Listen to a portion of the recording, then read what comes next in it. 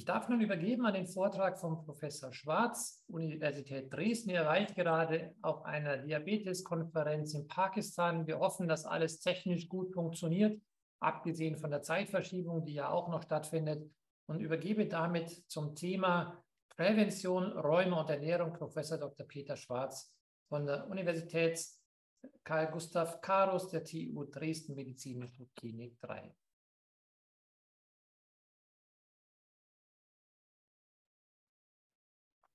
Vielen herzlichen Dank für die Einführung.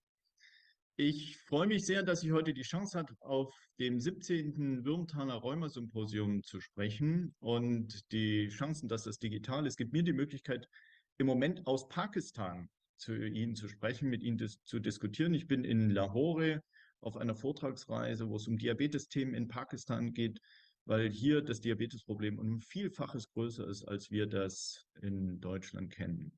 Was ich aber machen möchte, ist mit Ihnen zu diskutieren, wie Stoffwechsel und Psoriasis und Rheuma miteinander zusammenhängen und was uns aus äh, diabetologischer Sicht da wichtig ist. Zu mir selbst, ähm, Peter Schwarz. Ich habe eine Professur für Prävention und Versorgung des Diabetes an der Uni in Dresden, bin international sehr aktiv und äh, bin derzeit Präsident der Internationalen Diabetesgesellschaft also beschäftige mich sehr intensiv damit, wie diese Zusammenhänge ähm, nicht nur in Europa, sondern gerade in Ländern wie Bangladesch oder im Senegal oder auch Surinam ähm, zusammenhängen und was man da machen kann, um die Versorgung für Menschen mit Diabetes da zu verbessern. Die Situation, in der wir gelebt haben, muss man fast schon sein, durch diesen Kollegen, er hat uns sehr in Atem gehalten und das hat für Diabetes auch eine Konsequenz gehabt, weil durch Corona, also ich will jetzt nicht sagen, dass Corona auch noch Diabetes macht, aber durch Corona, durch die Pandemie, durch soziale Isolierung, Social Lockdown, durch ähm, die ganzen äh, Reaktionen äh, der Regierung darauf, ähm, ähm, Social Distancing, das hat dazu geführt, dass wir etwa 25 Prozent mehr Diabetiker hatten, als wir sonst jedes Jahr haben. Und wie kann man das erklären? Der durchschnittliche Deutsche hat 6,7 Kilo während der Pandemie zugenommen und das hat zu einer zusätzlichen Morbidität und Mortalität unserer Patienten geführt. Und jetzt könnte man sagen, Pandemie ist ja vorbei, das wird jetzt alles wieder besser. Leider sieht es nicht so aus. Wir glauben, dass die Zunahme an Diabetes, also diese sprunghafte Zunahme bestehen bleibt, sodass wir auf einen Schlag 25 Prozent mehr Patienten auch behandeln müssen. Und das stellt uns für eine Herausforderung, die, auf die wir eigentlich nicht vorbereitet sind. Hier sehen Sie mal 540 Dresdner äh, von Facebook. Alle die Roten werden im Laufe ihres Lebens einen Diabetes entwickeln. Da können Sie jetzt sagen, das ist ja furchtbar, das zu sehen. In Saudi-Arabien wäre das Bild komplett rot. Saudi-Arabien hat im Moment eine Prävalenz von 47 Prozent Diabetes und 2030 schätzt man 56 Prozent Diabetes. Das heißt, mehr als jeder Zweite ist dort Diabetiker.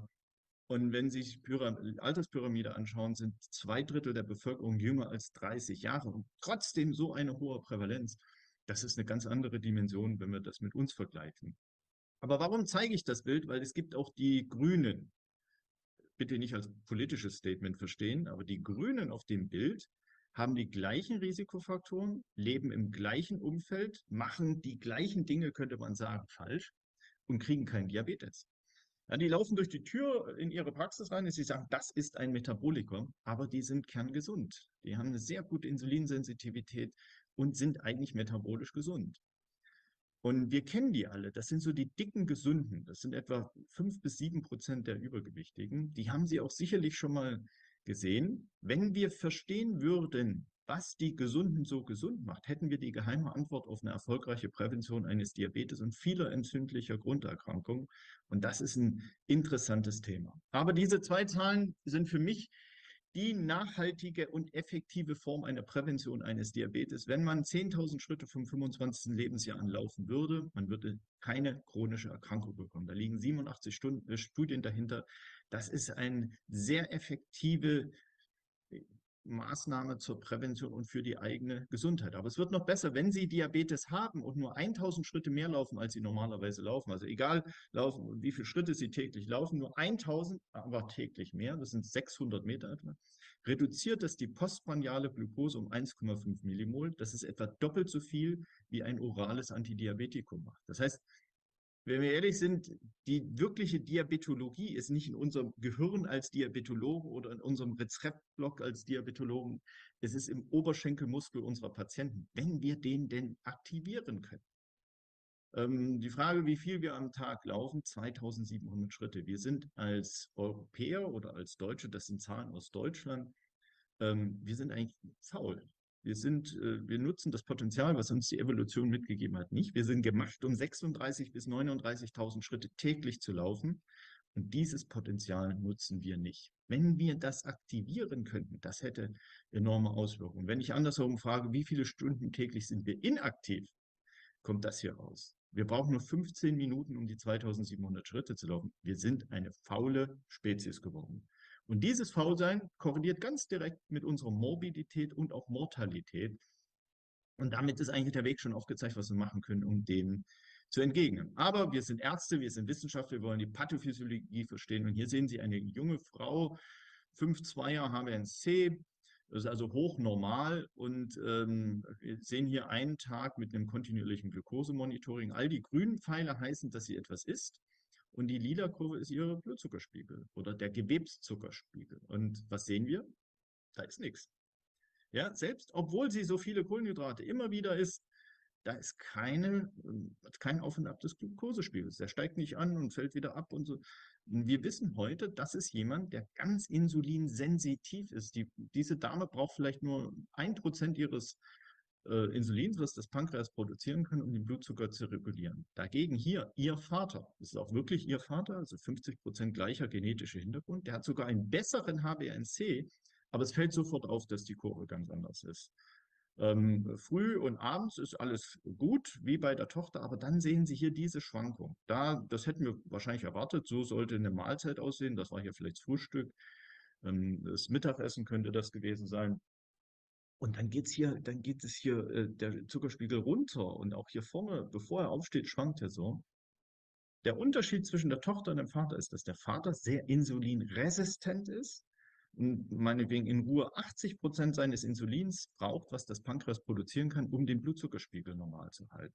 Das ist der entscheidende Unterschied, weil der Vater so insulinresistent ist, hatte vielleicht noch drei, vier Jahre bis eine Hyperglykämie und dann ein Diabetes mellitus entwickelt. Und diese Situation ist im Endeffekt für alle entzündlichen Grunderkrankungen hm, der Katalysator, dass die entstehen, dass die schneller ablaufen, dass die Situation sich verschlechtert. Die Krux ist, wir finden die Leute nicht. Ja, wäre ja jetzt cool, wenn wir sagen können, wir finden die und dann können wir Präventionsmaßnahmen äh, applizieren, aber wir können nicht ein kontinuierliches Glukosemonitoring hm, mit allen Risikopersonen machen. Aber das Konzept ist wichtig, dass wir an Risikofaktoren äh, agieren müssen oder dort die Patienten finden müssen. Das heißt für uns aus diabetologischer Sicht, wenn wir diese Schwankung des Blutzuckerspiegels im Kopf haben, ist therapeutisch eigentlich das hier sinnvoll. Wir müssen selbst bei Personen, die den gleichen Langzeitblutzucker HbA1c haben und bei dem einen, der schwankt so ein bisschen und der andere schwankt aber ganz hoch, wissen wir, der Hochschwanker stirbt am Herzinfarkt und Schlaganfall. Der Niedrigschwanker muss unter Umständen gar nicht so intensiv äh, behandelt werden. Deswegen das Konzept in der Behandlung ist, die Schwankung zu reduzieren, selbst beim gleichen HbA1c, wenn wir den akzeptieren wollen.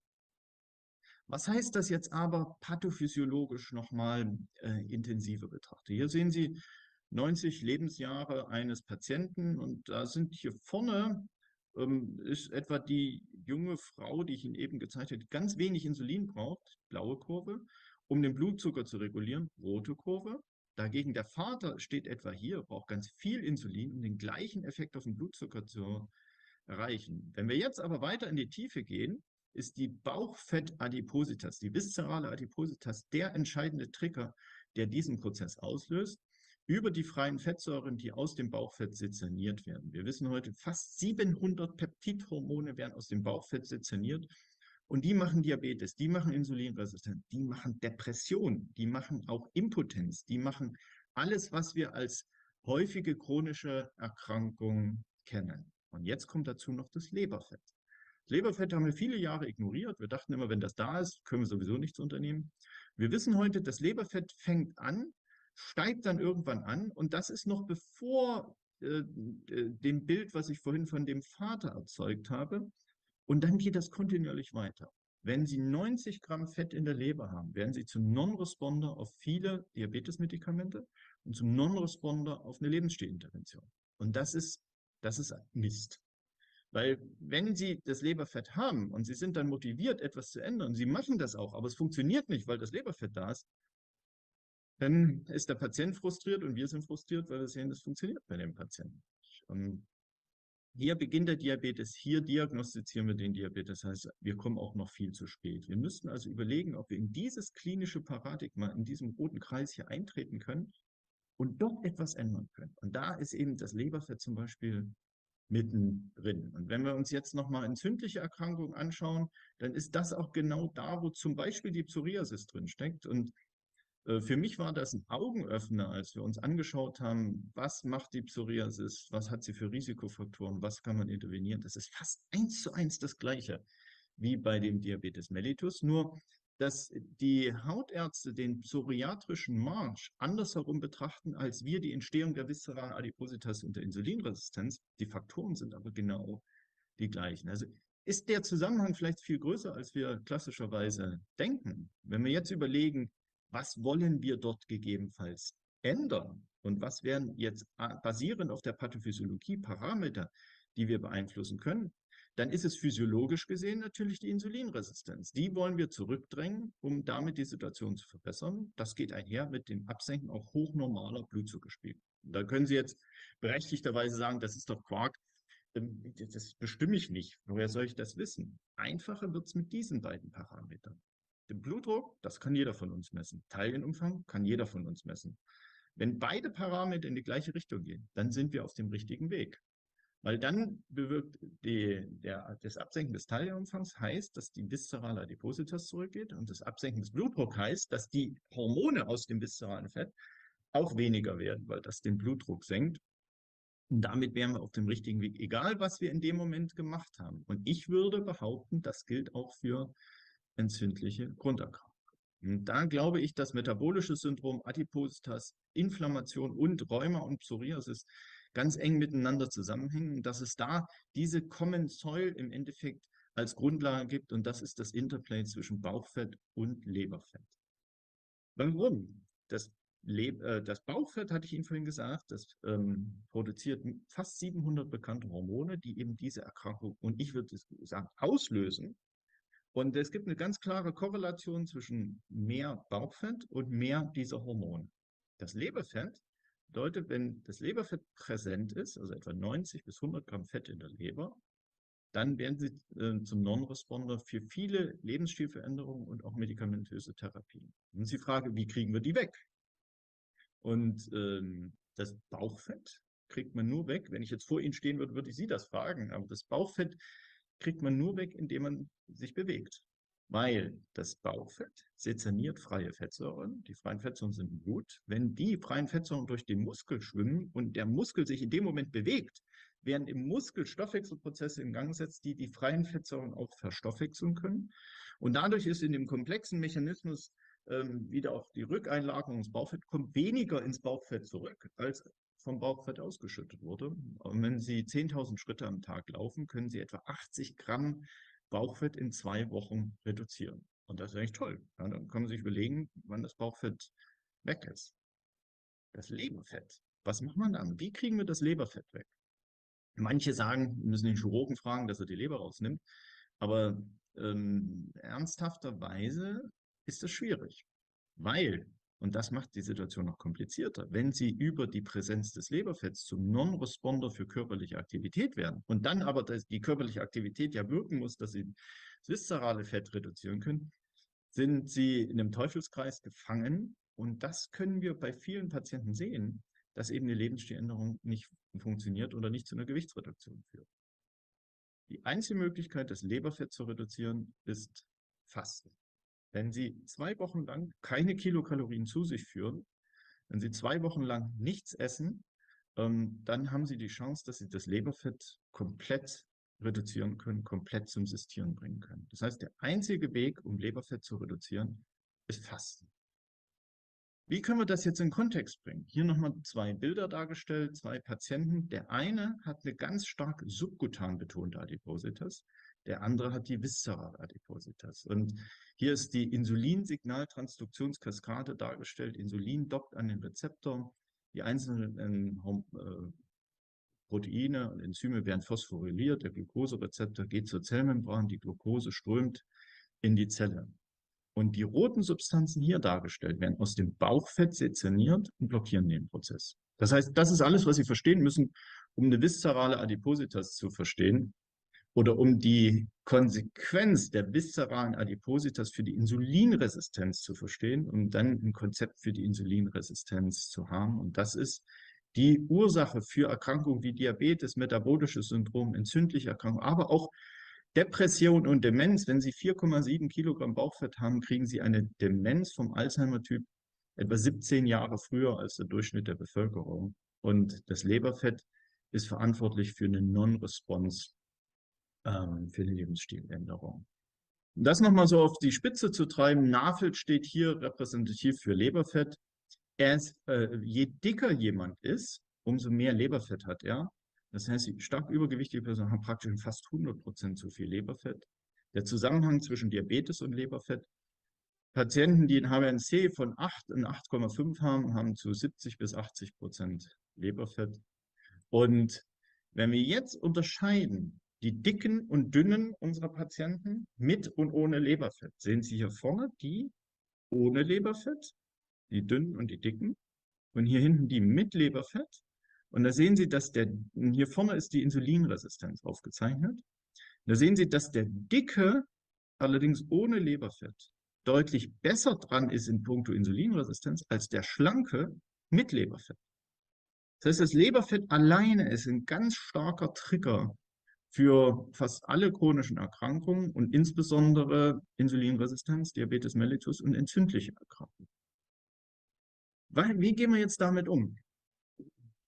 Kurzer Ausflug, wenn Sie äh, eine andere Methode suchen, um das Leberfett zu reduzieren, dann ist es eine isokalorische Diät mit viel Protein. Da sehen Sie hier, das Leberfett geht tatsächlich runter, aber Sie können es vielleicht um 40, 50 Prozent reduzieren. Es ist nicht weg. Der einzige Weg, es wegzukriegen, ist tatsächlich Fasten aber das kann zu einer Remission eines Diabetes führen. Hier nochmal das, was ich dargestellt habe. Wenn also zu viel äh, in der Leber zu viel Fett ist, dann ist gleichzeitig auch im Pankreas zu viel Fett. Das geht Hand in Hand. Und das zerstört im Endeffekt die Beta-Zellfunktion oder macht den Patienten auch insulinresistent. Wenn man das entfernen kann, das heißt, das Leberfett sinkt, pankreatisches Fett sinkt und dann nimmt die Beta-Zellfunktion wieder zu, wenn Sie das frühzeitig machen, also manche sagen, das, nennen das Prädiabetes, dann kann das dazu führen, dass es tatsächlich zu einer Remission des Diabetes mellitus führt.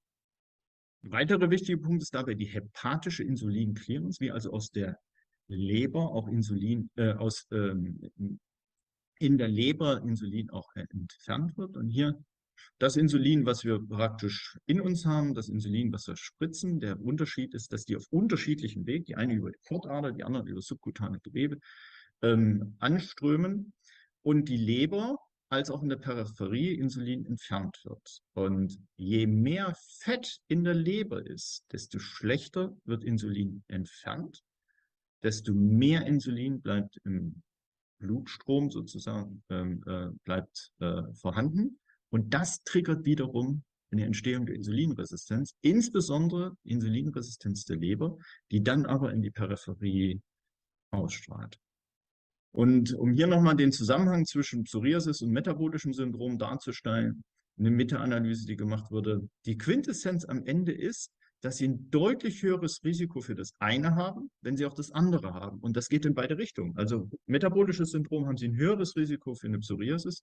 Bei Psoriasis haben sie ein deutlich höheres Risiko für ähm, ähm, äh, metabolisches Syndrom.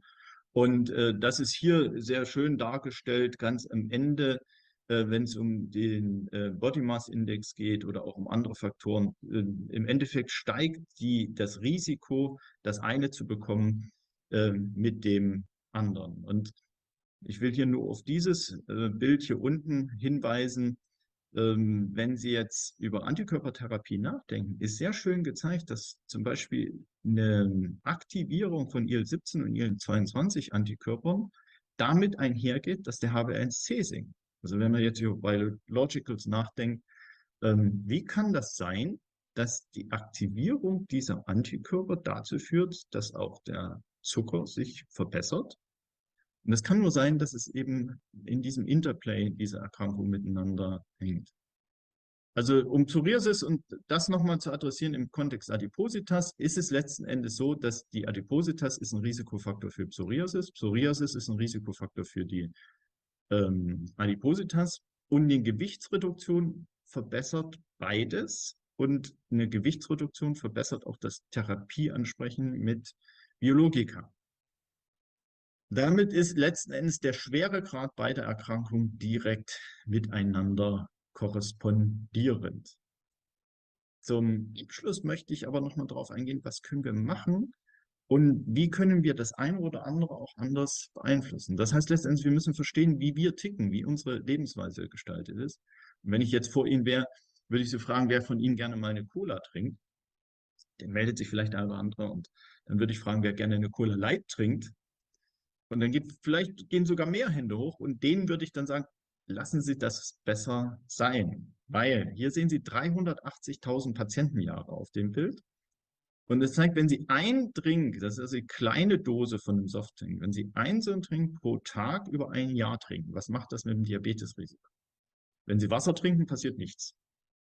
Also Wasser scheint ein gesundes Getränk zu sein. Wenn Sie einen Orangensaft trinken aus einer Dose, wo viele Orangen draufgedruckt sind, aber keine wirklich mehr drin ist, erhöht es das Diabetesrisiko um 40 Prozent. Das ist das gleiche etwa, was auch eine Coca-Cola macht. Aber die Cola Light oder Cola Zero macht 60 Prozent. Wie kann das sein, dass die Cola, wo kein Zucker drin ist, am Ende mehr Zucker macht als die Cola, wo Zucker drin ist? Und die Antwort darauf ist hier unten dargestellt die Zuckerersatzstoffe und das Mikrobiom. Weil, wenn Sie eine bestimmte Schwelle von Zuckerersatzstoffen pro Tag überschreiten, und es gibt 38 Zuckerersatzstoffe in der EU, 36 davon machen das, was ich Ihnen sagen will, weil sie verändern das Mikrobiom. Sie verändern sozusagen die Zusammensetzung der Bakterien in unserem Darm und führen dazu, dass 14 andere Bakterienstämme in unseren Darm einwandern, wenn sie eben diese tägliche Schwelle an Zuckerersatzstoffen überschreiten. Und diese Bakterien, die wachsen in uns, ähm, die teilen sich schneller als E. coli. Äh, führt dazu, dass etwa drei bis vier Tage nur gebraucht werden, sodass die unseren Darm überwuchern. Und die helfen uns genauso zu verdauen und äh, uns geht es trotzdem gut damit. Wir merken das nicht. Aber das Verrückte ist, diese Bakterien produzieren Fettsäure, hochgesättigte Fettsäure, also die Milliarden von Bakterien da drin. Und diese Fettsäuren nehmen wir natürlich genauso auf wie die Fettsäuren aus dem Tiramisu. Das Blöde ist nur, diese Fettsäuren landen in der Leber. Das heißt, diese Fettsäuren oder diese Bakterien machen über die Produktion der Fettsäuren ähm, eine Leberverfettung. Und dann ist das Blöde, dass diese Leberverfettung am Ende dazu führt, dass wir zum Non-Responder auf körperliche Aktivität. Das heißt, dieses Mikrobiom in uns wenn wir uns bewegen und dazu aber Cola Light trinken, um das mal banal zu sagen, werden diese Fettsäuren, die von den Bakterien produziert werden, machen uns zum Non-Responder auf körperliche Aktivität. Das heißt, sie laufen 10.000 Schritte und es wirkt nur wie 2.000 Schritte. Und wenn wir jetzt mal an unsere Patienten denken, wir kennen alle die Patienten, die uns immer wieder sagen, ich mache das doch und ich fahre Fahrrad und, ähm, und dann sagen die Patienten, aber es bringt nichts. Das können die Patienten sein, die unter Umständen eben zu viel Leberfett haben. Dazu gehört jetzt nochmal, wenn wir über nachdenken, besser zu verstehen, wie man jetzt was erreichen könnte, dass man was ändert. Hier nochmal dargestellt, wie Patienten auf uns hören oder welche Rolle wir für die Lebensstiländerung der Patienten äh, spielen. Stellen Sie sich vor, ein Patient hat Krebs oder eine Pneumonie der glaubt in der Regel, was wir ihm sagen. Und wenn wir äh, ihm empfehlen, er soll sich operieren lassen und nächste Woche ist der Termin, macht er das in der Regel. Wenn wir über Diabetes und Übergewicht nachdenken, ist die Situation eine ganz andere. Wir als Ärzte sind raus aus dem Feld als Entscheider für die Therapie oder die, äh, den Lebensstil der Patienten, weil andere das übernehmen. Wir wirken etwa anderthalb Tage, nachdem der Patient bei uns war. Dann hat er in der Regel er hat nicht vergessen, was wir ihm gesagt haben, aber andere wären wichtiger und das ist die Peer Group des Patienten. Das ist die Familie, das sind Freunde, das sind Arbeitskollegen. Das heißt, der Lebensstil der Peer Group ist für den Lebensstil des Patienten viel bedeutsamer als das Gespräch mit uns. Und wenn dann es zu einer Entscheidung kommt, etwas zu ändern, in der Regel ist das eine emotionale Entscheidung, dann ist der Qualitätsindikator einzig und allein Lebensqualität. Das heißt, wenn wir, und äh, das ist egal, ob man jetzt Patient ist oder nicht, wir ticken alle genauso. Wenn wir etwas ändern, wollen wir innerhalb von zwei Tagen merken, ob sich unsere Lebensqualität verbessert, sonst bleiben wir nicht dran. Das heißt, wenn wir über die chronischen Erkrankungen nachdenken und uns überlegen, was wir unseren Patienten sagen, da ist nicht viel dabei, was wirklich deren Lebensqualität innerhalb von zwei Tagen verbessert. Ja, in der Regel ist es ja, du darfst das nicht mehr und du musst das machen und das geht schon gar nicht mehr und achte unbedingt darauf. Das heißt, in dem Kontext müssen wir uns überlegen, wie wir da tatsächlich etwas besser machen können, wenn wir daran wollen an dieses Interplay zwischen den Fettgeweben. Und zum Abschluss dazu nochmal das Fasten. Ähm, ich bin nie ein wirklicher Vertreter des Fastens gegen. Ich war so wie viele andere auch, habe gesagt, ja, das ist nicht wirklich Medizin und das ist, war das so in der naturheilkundlichen vielleicht Schmuddelecke. Und dann haben wir gesehen, was mit dem Leberfett passiert. Wir machen viele Studien, wo wir alle sechs Monate die Patienten mit MR-Spektroskopie untersuchen, also ein Ganzkörper-MRT machen und dann äh, mit einer extra Software genau rausrechnen, wie viel Fett in jedem Organ ist. Und dann waren Patienten dabei, da war nach sechs Monaten das ganze Leberfett weg. Und dann haben wir mit Siemens gesprochen, weil wir dachten, das Gerät ist kaputt. Oder die Software ist kaputt. Und dann haben wir gesehen, äh, dass das häufiger vorkam, in, bei in anderen Zentren auch. Und dann irgendwann kam jemand auf die Idee, es ist Fasten, weil ein Patient gesagt hat, er hat gefastet. Das ist einige Jahre her. Heute gibt es acht Studien, die das prospektiv untersucht haben. Und es ist tatsächlich so, wenn Sie zwei Wochen lang null Kilokalorien zu sich führen. Also zwei Wochen tatsächlich nichts essen. Null Kilokalorien. Dann ist das Leberfett verschwunden. Gibt eine Studie, die hat das mit drei Wochen und 600 Kilokalorien ohne Kohlenhydrate auch geschafft. Ähm, aber so die Hauptschlagrichtung ist eigentlich zwei Wochen lang eine Nulldiät oder eine Wasserdiät, ähm, könnte man auch sagen. Wenn wir da versuchen, kurz nochmal einzusteigen, im Endeffekt ist weniger Essen gesund. Ja, Lebenserwartung steigt, Risiken für Diabetes, Herz, äh, kardiovaskuläre Erkrankungen steigen. Ähm, es ist sogar antidemenziell. Das heißt also, eigentlich ist eine Diät oder weniger Kalorien zu sich führen erstmal gut. Fasten, äh, es gibt seit 4000 Jahren. Eigentlich faszinierend. Es ist wahrscheinlich die älteste medizinische Therapieform und wir wissen so wenig darüber. Letzten Endes kann jeder sagen, ich höre mal eine Zeit lang auf zu essen und das ist Fasten. Aber es gibt auch viele Menschen, die heute sagen, digitales Fasten oder Gummibärchenfasten, Alkoholfasten und sowas. Also Fasten ist un ganz unterschiedlich besetzt. Und für viele Menschen ist es auch Sichtweise zu verändern. Interessant ist aber, praktisch in allen Religionen gibt es das Fasten. In unterschiedlicher Form, aber eigentlich ist es eine Strategie, die einmal im Jahr eine Einkehr bedeuten soll, ähm, aber vielleicht auch eben von vornherein schon immer eine sinnvolle Public Health Maßnahme gewesen ist. Ähm, wenn wir als Wissenschaftler das betrachten, ähm, die medizinische Seite ist letzten Endes, ist, sie zehren, es ist kein Mangel an Ernährung, sondern sie zehren von dem, was der Körper gespeichert hat. Das heißt, wenn Sie nichts essen, dann wird in der Regel die Energie die in Muskel und Fett gespeichert ist, genommen. Jetzt sagen die einen wahrscheinlich, ja, genau das wollen wir. Wir wollen ja nicht, dass die Muskelzellen ähm, genommen werden oder kaputt gehen. Das ist ganz richtig. Derjenige, der sich zum Fasten ins Bett legt, bei dem wird Muskel abgebaut. Derjenige, der sich zum Fasten bewegt, bei dem wird Fett abgebaut.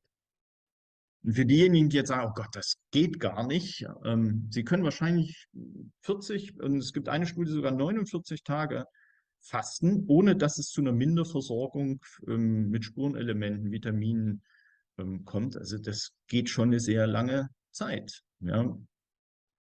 Für mich ist aus medizinischer Sicht das Fasten der schnellste Zugewinn an Gesundheit, den wir generieren können. Fasten ist eine körperliche Herausforderung, aber es ist auch der Errungenschaft des Körpers.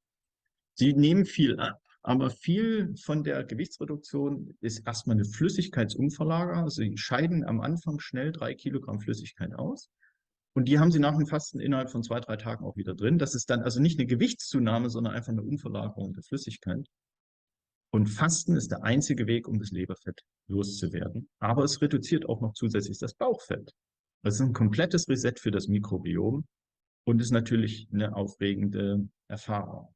Wie mache ich das jetzt? Und zwar hier nochmal beispielhaft, ähm, ich habe das selbst mittlerweile, glaube ich, 14 oder 15 Mal gemacht, ähm, eine Gewichtsreduktion dargestellt. Das sind hier knapp 10, etwas mehr als 10 Kilogramm über einen Zeitraum von 12 Tagen. Wie geht das los? Letzten Endes kann jeder entscheiden, aufzuhören zu essen.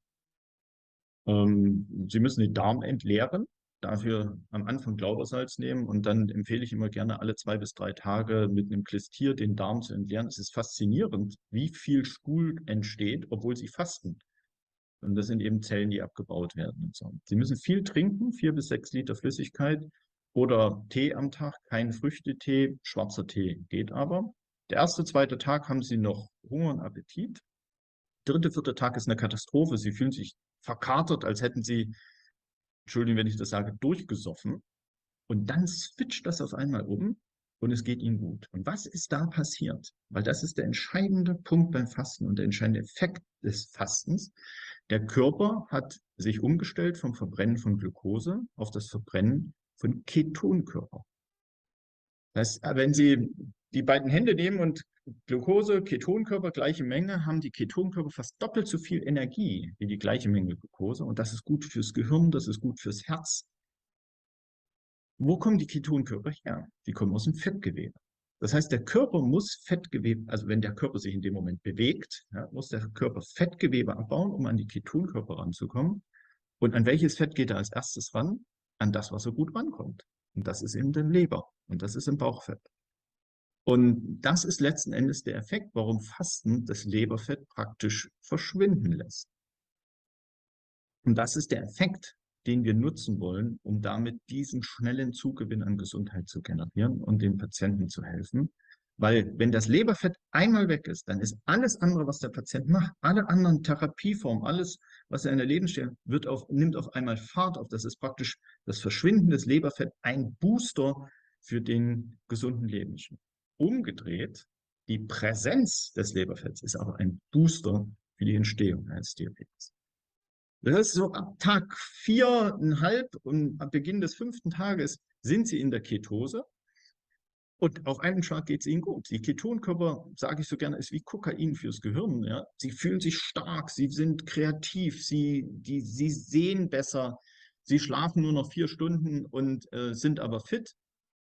Und das ist etwas, was einen enorm stimulieren kann. Und jetzt kommen viele und sagen, reicht denn dann nicht auch sieben Tage fast? Ähm, aus Leberfettsicht nicht, aber eben auch alleine aus dem Fakt, dass sie vier Tage brauchen, um den Körper auf die Ketose umzustellen. Und wenn sie dann nach drei Tagen aufhören, hatten sie vier Tage Aufwand für nur drei Tage Effekt.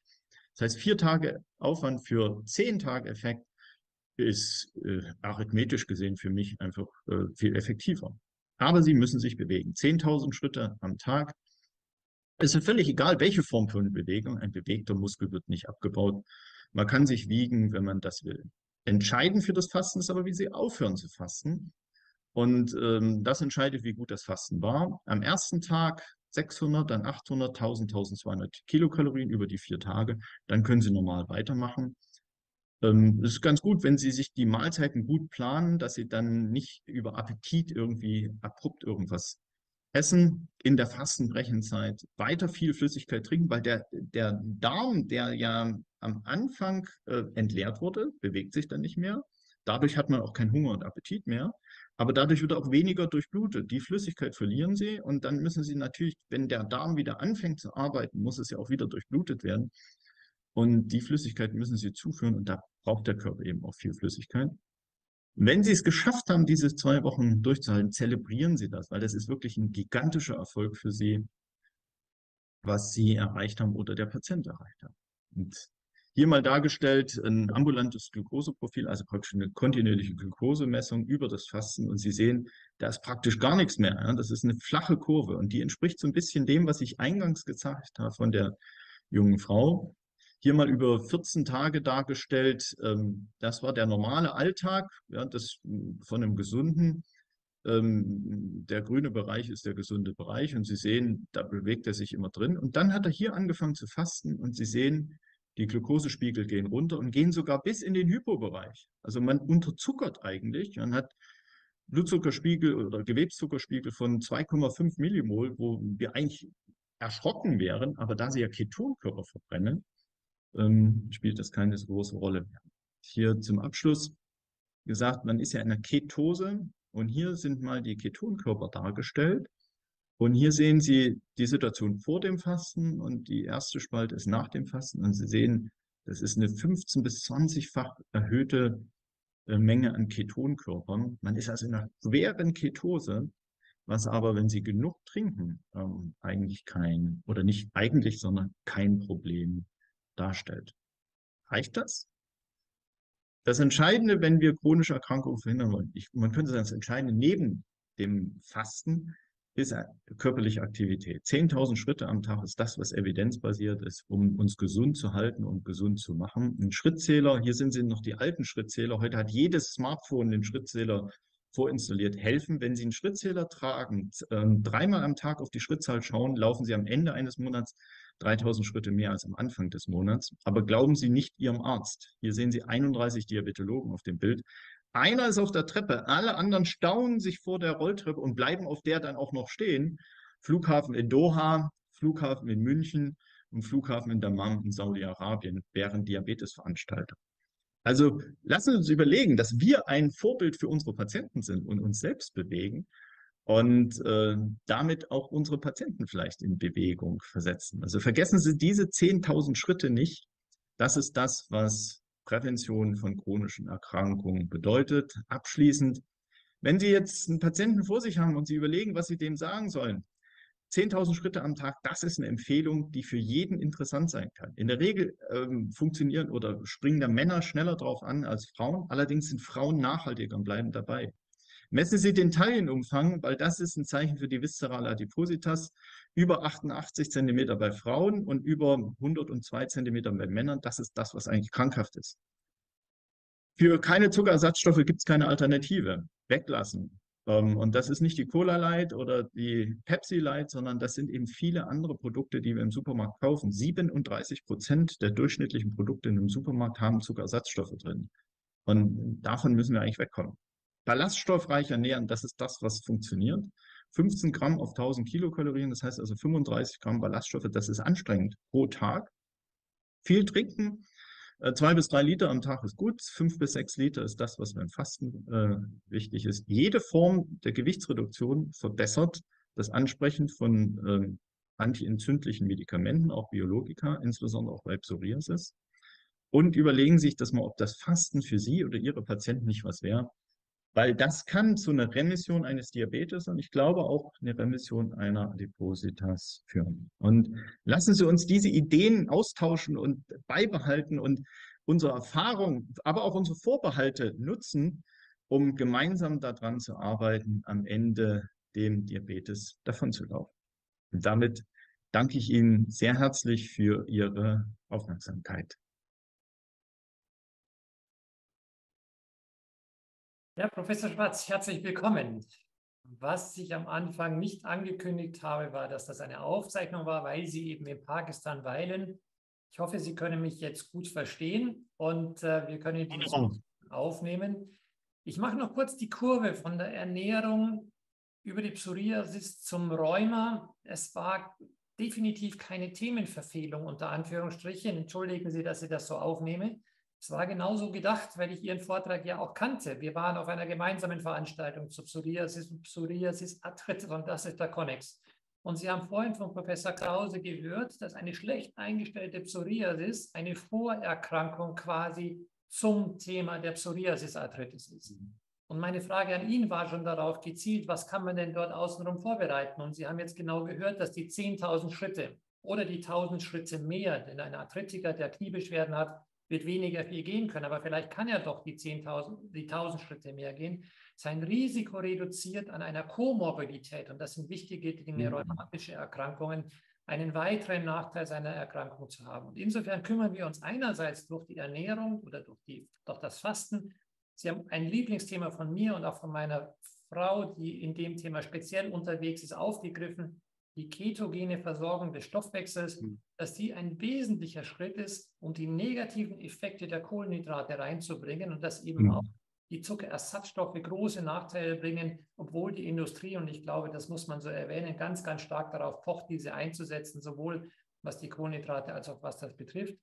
Ähm, da sind vielleicht unterschiedliche Interessen und ich würde Ihnen jetzt gerne noch das Wort geben, ob meine Vorstellung zum Connex Rheumatologie, ob sich das mit, ihrer, mit Ihrem Wissen, mit Ihrer Einschätzung deckt. Also erstmal möchte ich das, was Sie zur ketogenen äh, Ernährung gesagt haben, komplett unterstützen. Ähm, wenn wir jetzt aber Fasten und ketogene Diät miteinander vergleichen, ist es eigentlich für mich ganz simpel. Bei der ketogenen Diät essen Sie das Fett, äh, verbrennen Sie das Fett, was Sie essen.